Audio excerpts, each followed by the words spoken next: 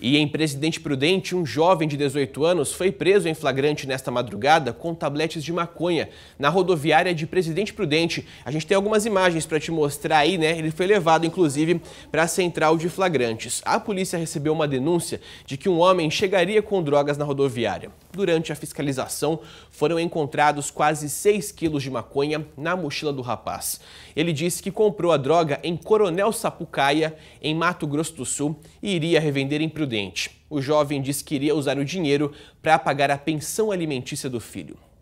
Ele vai responder por tráfico e será encaminhado ainda hoje para o CDP de Caiuá.